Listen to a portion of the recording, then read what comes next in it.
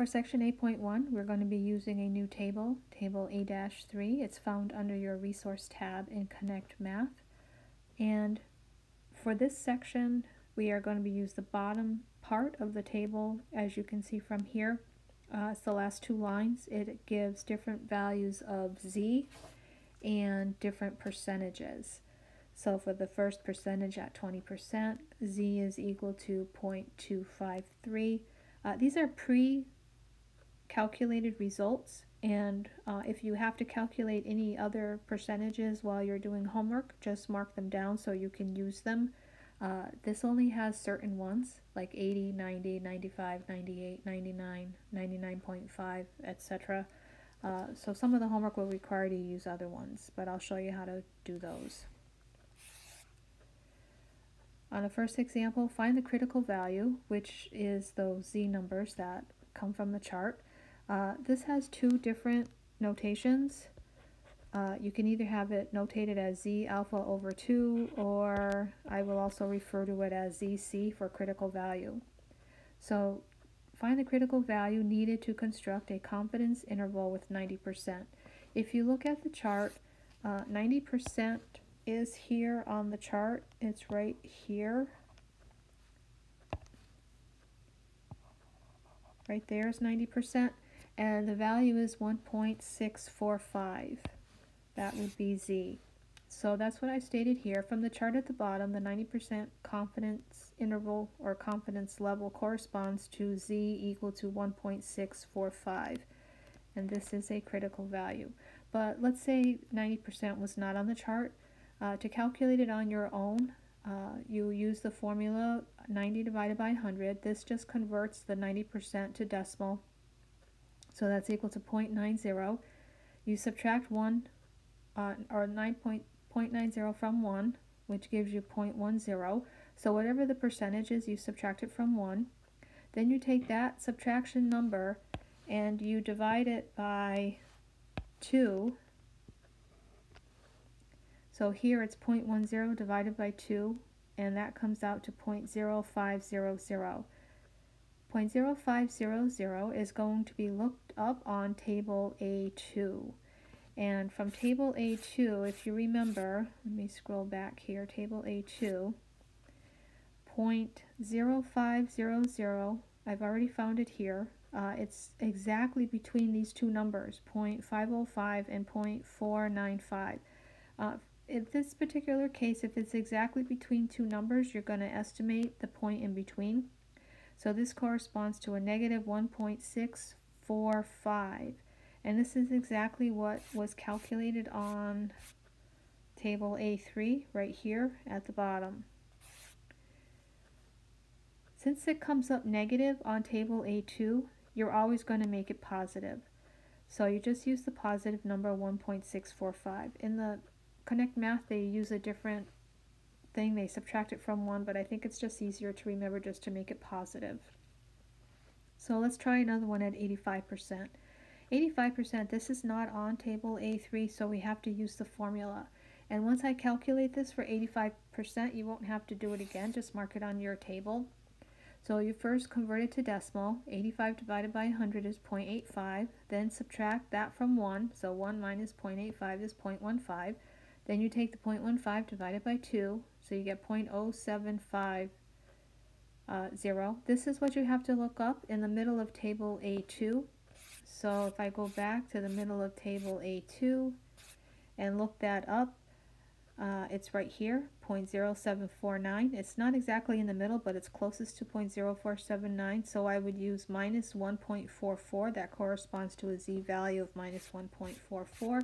And again, I just make it positive so the critical value here would be 1.44. Let's try another one, 96%. 96% again is not on the chart. So you first convert it to decimal. 96 divided by 100 is 0.96. Subtract it from 1, so you get 0.04. Divide that by 2, it becomes 0.0200. You look that up in the middle of table A2. So again, going back to the middle of table A2, there it is right there, 0.0202. That corresponds to a negative 2.05.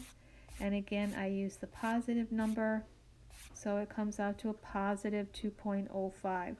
That's the critical value for that. So on the homework, you're going to have to do a few of those calculations. As another example, as we proceed with the homework, we're going to use uh, this number to calculate the margin of error for a certain confidence interval.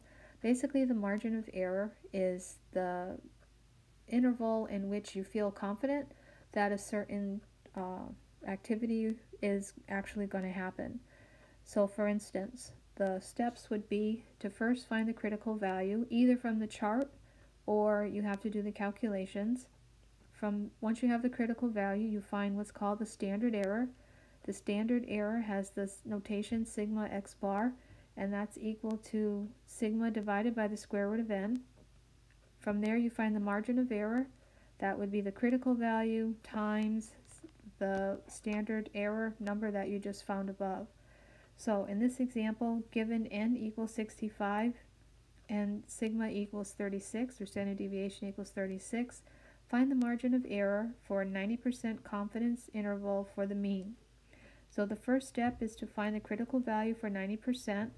Uh, this is a value at the bottom of table A3. So 90% is one of them that's listed. So 90% corresponds to 1.645. So I don't have to do the formula to figure that out. The standard error is going to be sigma divided by the square root of n. So sigma was 36 in the problem. They said the sample size was 65, so I divide that by the square root of 65. Uh, the square root of 65 is 8.062, so I do 36 divided by 8.062, and I get sigma of x is equal to 4.465. So that's the standard error number. Then to get the margin of error, I take the critical value and multiply that by sigma x bar. So I get 1.645, that was my critical value right here, times 4.465, that's this number here and that becomes 7.345.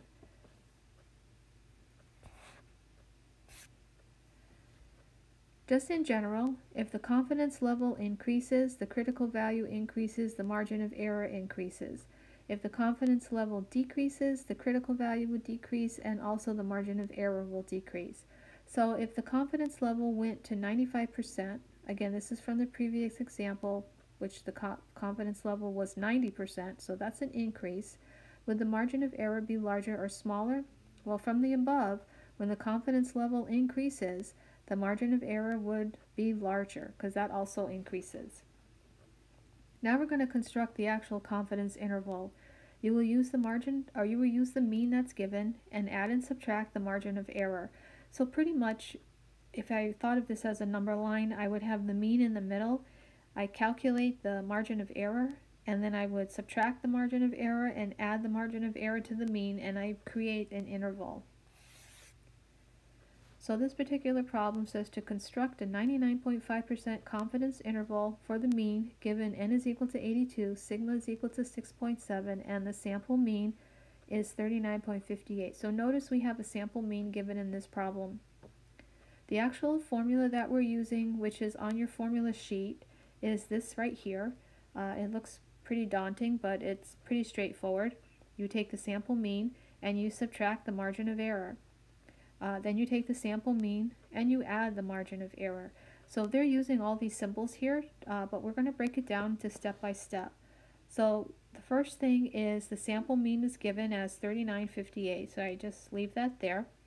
Uh, the critical value at 99.5, again, this is from the table, that 99.5 is there, and the critical value is 2.807. That's from table A3. The standard error, this is a calculation.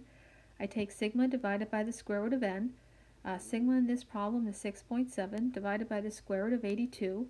The square root of 82 is 9.055, so 6.7 divided by 9.055 is 0.7399. From there, I calculate the margin of error which is the critical value times the standard error. Critical value is 2.807. Standard error I just calculated as 0.7399 and I get 2.077. This is the margin of error. If, if I look at the formula up here, the margin of error is added and subtracted. That's the number I'm using. So I'm going to take the 2.077, which was my margin of error, and add and subtract it from the sample mean. The sample mean, again, given was 39.58. So I take 39.58 minus 2.077, and then 39.58 plus 2.077. So I get the range of 37.503 to 41.657. The, on the computer, they want you to round it to two places, so I would put in 37.50 and 41.66. Would the confidence interval be valid? Uh, yes. So what this question is pretty much asking is uh, if your sample size is larger than 30, yes, it is going to be valid. Uh, so if they give you the uh, population mean, it would also be valid. But this particular problem gave a sample mean, but since the sample size is larger than 30, it's still valid. All right, I'm going to stop there and do another one.